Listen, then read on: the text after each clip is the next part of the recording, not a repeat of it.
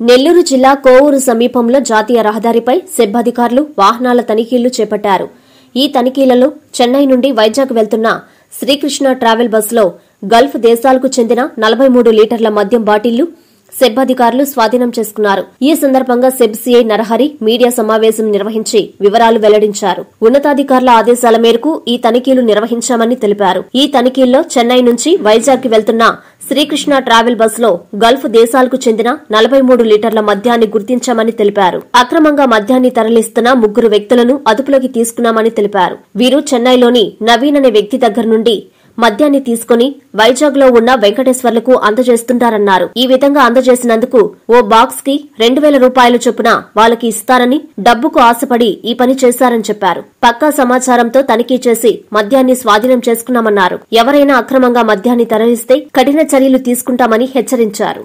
నెల్లూరు జిల్లా ఎస్పీ గారు మరియు అడిషనల్ ఎస్పీ గారి ఆదేశాల మేరకు ఎస్సీబీ ఏఈఎస్ గారు మరియు యుఎస్ గారి పర్యవేక్షణలో కోవూరు ఎస్సీబీ టీం గత రాత్రి రాత్రి పదకొండు గంటల సమయంలో కోవూరు హైవే ఎన్హెచ్ సిక్స్టీన్ దగ్గర ఉన్న ఆర్కే పెట్రోల్ పంప్ వద్ద వాహనాల తనిఖీ నిర్వహించాము.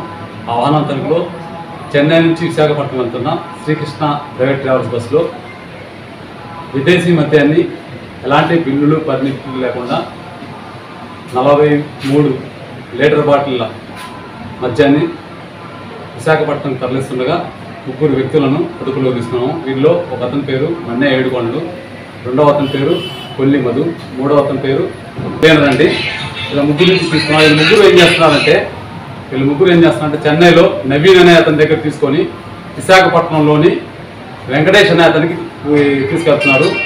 నవీన్ అనే అతను దగ్గర తీసుకొని మూడు బాక్సుల్లో నలభై మూడు మద్యం బాటిల్ను నలభై మూడు మద్యం బాటిల్ని తీసుకొని విశాఖపట్నంలో వెంకటేశ్వర వెంకటేష్ అన్న అతనికి ఇస్తే వీళ్ళు ఒక్కొక్క ఈ మూడు బాక్సులు తీసుకెళ్తున్నారు ఈ నలభై మూడు బాటిల్. ఒక్కొక్క బాక్స్ రెండు వేలు ఇస్తారు ఇస్తారంట. అందుకే రెండు వేలకు ఆశపడి ఈ ముగ్గురు వ్యక్తులు ఒక్కొక్క బాక్స్ రెండు వేల కోసం ఆశపడి తీసుకొని వెళ్తుంటే మాకు పక్కా సమాచారం వచ్చింది.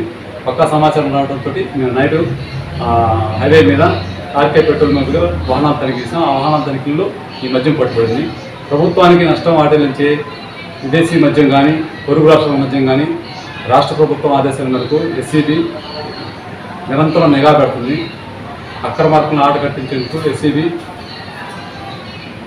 పట్టు వద పట్టు వదల విక్రమార్కుల్లాగా నిరంతరం కంటి మీద కునుకు లేకుండా అహర్నెస్ శ్రమిస్తూ ఇలాంటి అక్రమ మద్యం కానీ విదేశీ మద్యం కానీ పొరుగు మద్యం కానీ గంజాయి కానీ నాటుసారాయి కానీ అంచువేతలో ఎస్సీబీ విశేషంగా కృషి చేస్తుంది.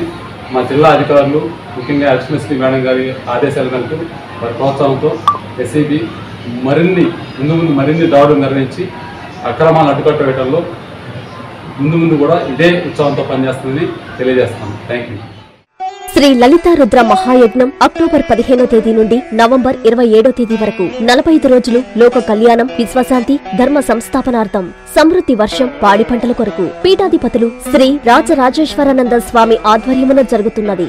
సకల శుభాలు కలిగించే ఈ లలిత రుద్ర మహాయజ్ఞములో పాల్గొని ఆయురారోగ్యం ఉన్నత చదువులు ఉద్యోగం పదవులు నవగ్రహ దోష నివారణ సకల సంకల్ప కార్యసిద్ధి వ్యాపారాభివృద్ధి అన్యోన్య దాంపత్యం శత్రు నివారణ వివాహం సంతానం పొందుటకు అందరూ ఉభయదాతలుగా పాల్గొనుటకు సంప్రదించవలసిన cell number nine eight four eight zero double eight nine two five.